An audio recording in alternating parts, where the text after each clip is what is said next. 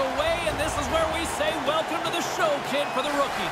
Oh, he's got to be so excited. I know I was scared, nervous, out of my mind with excitement that I was going to be an NHL player. I know he's got to be thinking that too. Still early on in this frame, James and Ray with you. So glad you could join us. Still no score in this one. And as the puck is dropped, they win the draw here inside the defensive zone. And he slides it quickly to Ferland. All alone! Scores! Once he gets clear of everybody chasing him, now he's got his head up and he finishes his breakaway beautifully.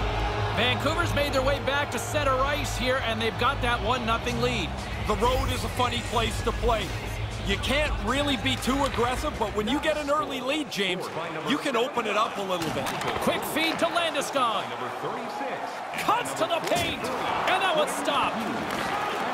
Grabs the puck in the slot.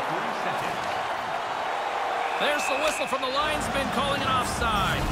Colorado's report card at the midpoint of the season would be passing grades all the way around.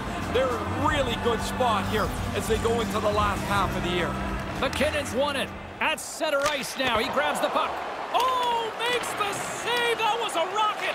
He's got it behind the cage. And tries to make a diagonal pass to Ferland. He's got a step. Oh, what a stop by the goalie with the poke check. Man, aggressive play. He gets right out on his belly to make the play.